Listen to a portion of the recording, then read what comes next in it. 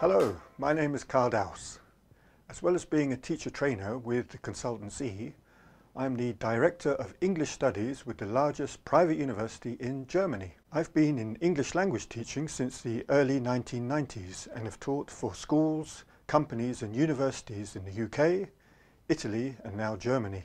I've specialised in business communication skills and language and I also have a keen interest in web and mobile technologies for teaching purposes. Since 2006 I've been lucky enough to combine these interests in designing and delivering a wide variety of blended learning courses for corporate learners, university students and teachers all over the world.